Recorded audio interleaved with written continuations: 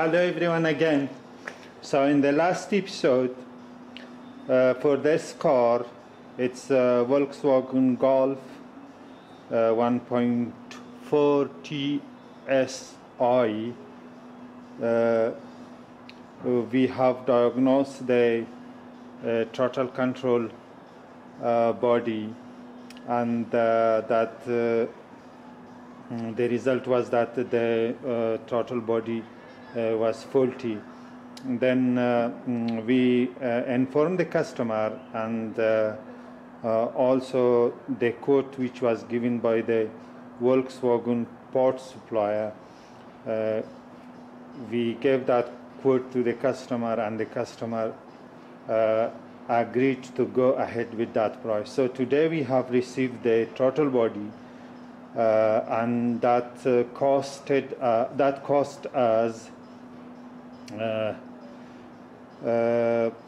576 pound including VAT. So I'm going to unbox this now and show you that this small part as you can see it's in the plastic bag sealed plastic bag so uh, I'm going to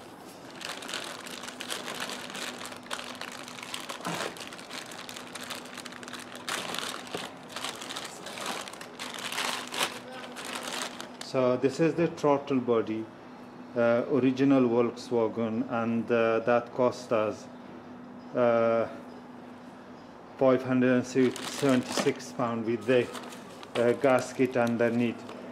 So now I'm going to install this one, and uh, first I'm going to remove the old one and then install this one, and then uh, take the data back and will share that with you.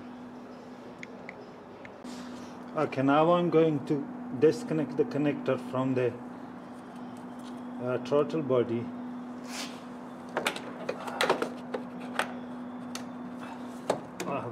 Disconnected the connector, and there are uh, four uh, Torx screws. It's uh, uh, which uh, the uh, T30 fits on the head of the screws that holds the throttle body to the inlet manifold.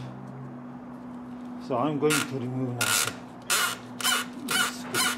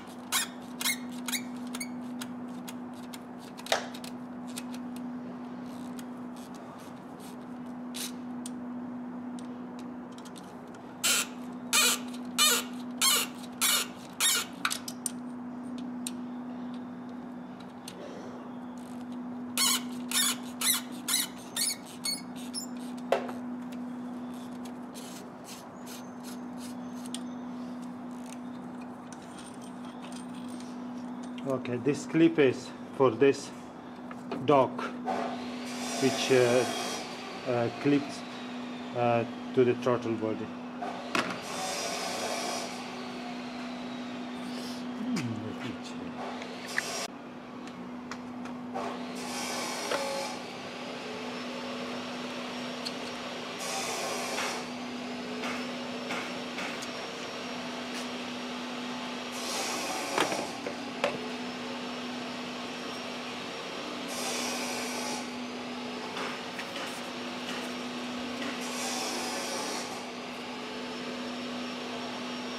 This is the connector with 16 pins on it and uh, I'm going to take the gasket out as well.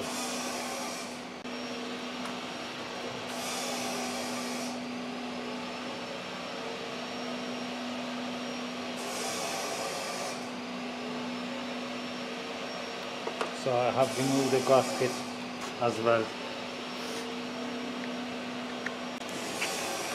So I'm going to replace the gasket as well. New gasket which was uh, supplied with the throttle body. I'm going to put that in.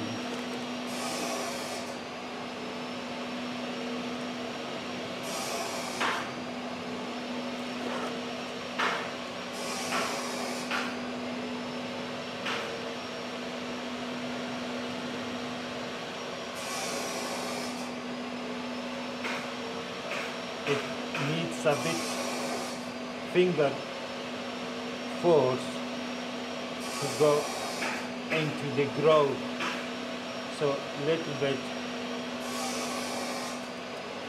uh, finger force to set the gasket properly in its groove so now I'll put that in and now I'm going to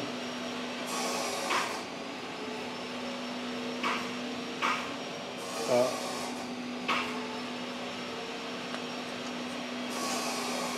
uh, this is the new throttle body genuine Volkswagen uh, part so I'm going to install that now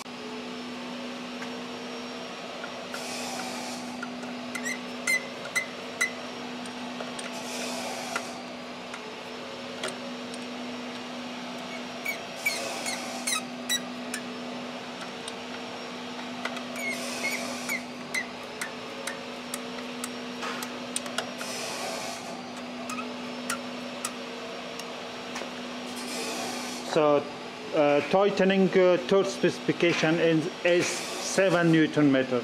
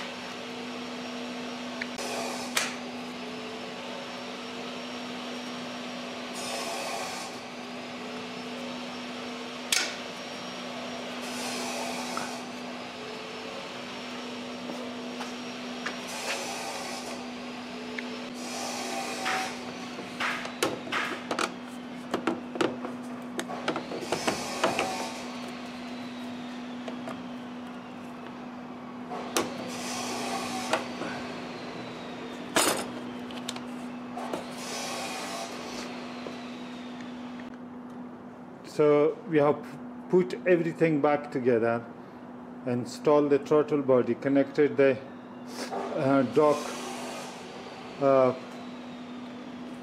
from the throttle body to the turbo.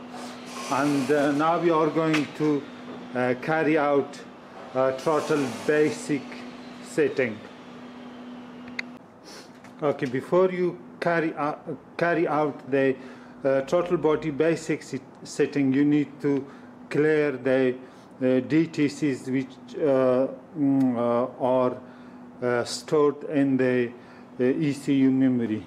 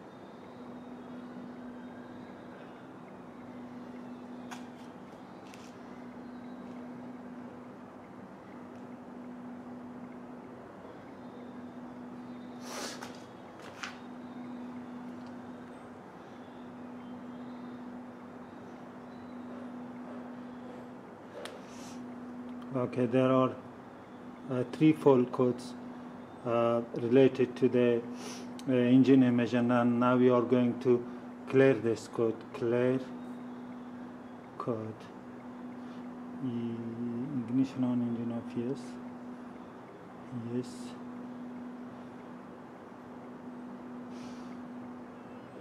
Yeah. So back. Read code. So no emission related code existed. Now we are going to fully exist.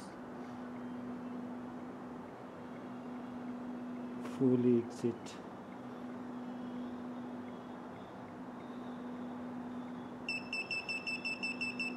Okay, go to home page, service, throttle body.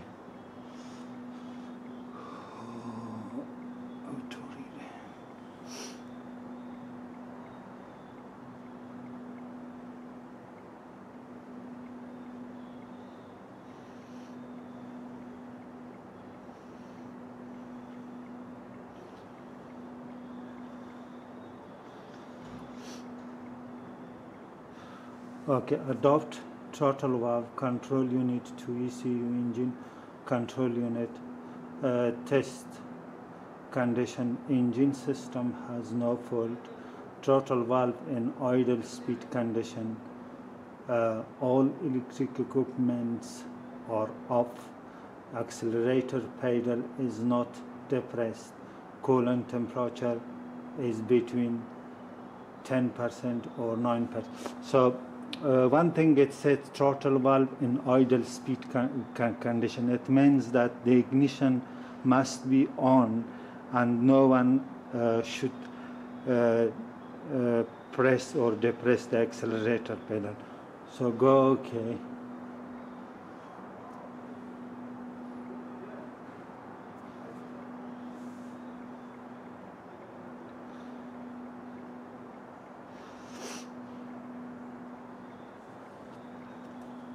Scanner is going to check for table codes right now, I think. Reading fault codes, yeah, that's right. So done.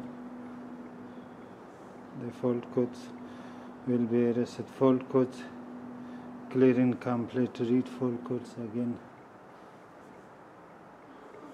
Okay, no DTC are stored in control unit. Please follow the instruction to proceed. Okay. Please turn ignition switch off and turn it on again.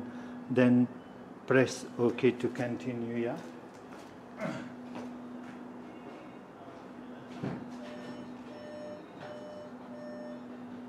I have turned the ignition off and now I have turned the ignition on again.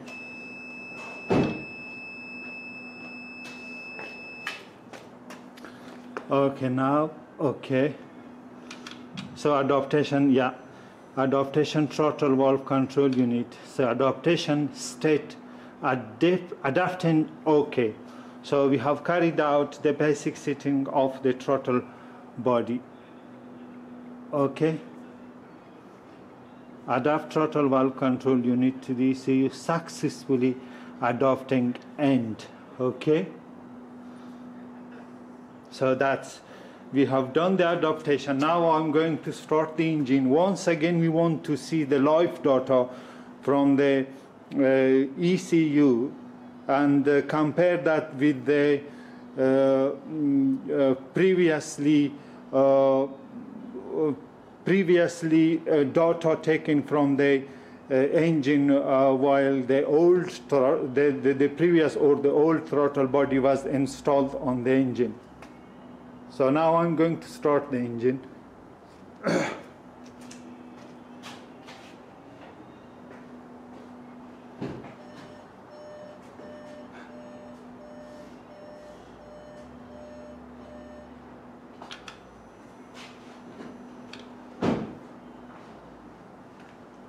So actually I didn't start the engine.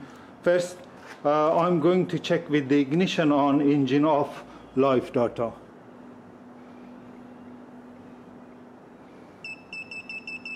Okay, home page, diagnostic, read out.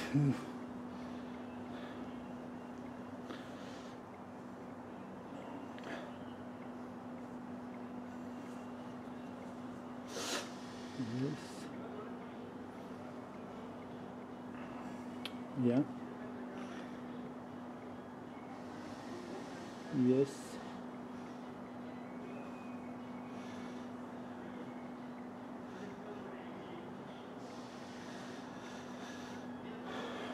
Control unit. Yeah.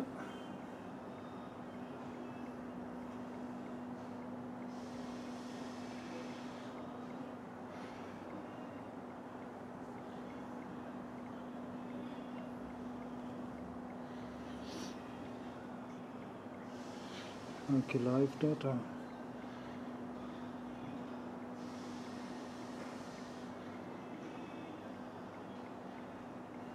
So now I'm going to select the throttle body relevant uh, uh, message.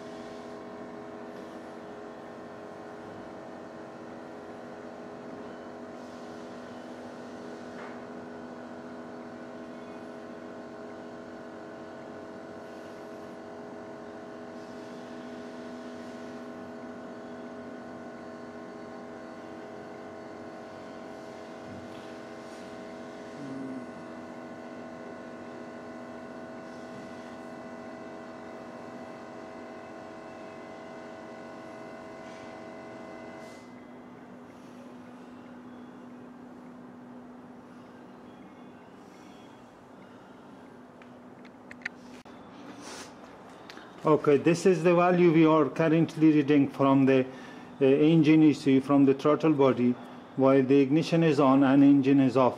Now I'm going to press the pe uh, accelerator pedal and you watch.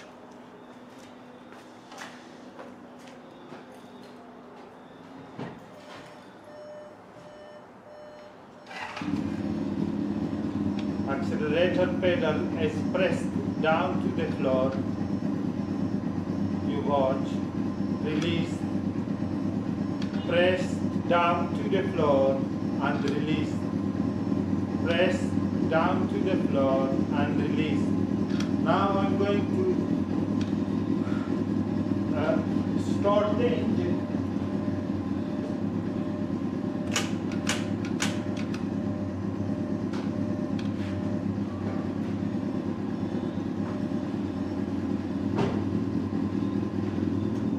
battery has become weak.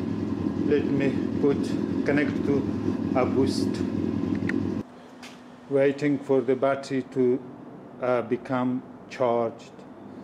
Uh, battery currently voltage is 9.6 volt because when you leave the ignition on, so automatically the uh, headlights uh, stay on for this vehicle. I'm not sure why. In spite of that, I put the light switch into manually uh, operated uh, position zero. As you can see, the engine is running at its idle, uh, and uh, this is the live data that you can see, and the engine is running very, very smoothly, and uh, we are very, very happy with this uh, repairs. Uh, let me show you the, the engine condition at its idle. So far no fault code, nothing is existing and the engine is very very smooth. As you can see the engine is very very smooth. You, uh, I'm not sure the camera uh, mic is picking up the engine sound but it's very very smooth and nice. And uh, now I'm going to show you the correlation between uh, two sensors there uh, and then see uh, how the two mm, potentiometer sensor signal voltage is correlating to each other. Okay, as you can see the engine is idling and now the uh, yellow channel is connected to the uh, first potentiometer signal wire and the uh, green uh, line is connected to the second potentiometer uh, signal wire. So yellow is on pin number one at connector and the green is on pin number four at connector. So as you can see the with the voltmeter DC reading it's 0.2 4.2 and 4.40. Now I'm going to press the pedal and you watch the accelerator pedal.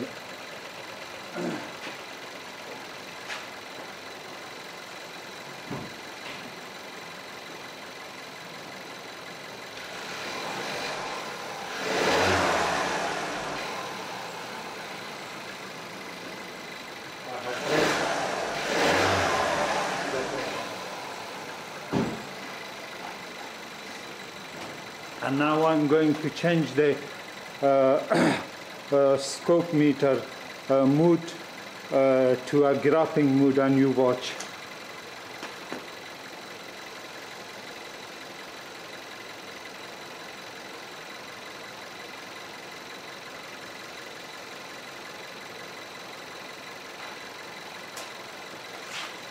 So as you can see same uh, signal here same reading, reading of the potentiometer uh, uh, sensor uh, signal output to the ECU. Now I'm going to press the accelerator pedal and you watch the correlation between the between the two signals.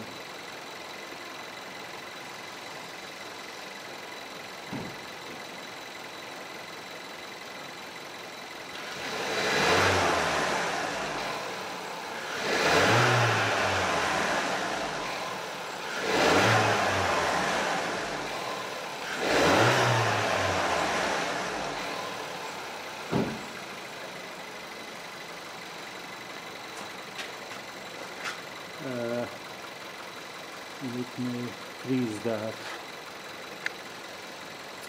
this is a very very good correlation between the two signals without any spike and anything. And I have freeze the uh, uh, scope uh, screen. Let me zoom in that little bit as, as you can see. Very very good correlation and without any spike on anything. So that was a good result for this report. Thanks for watching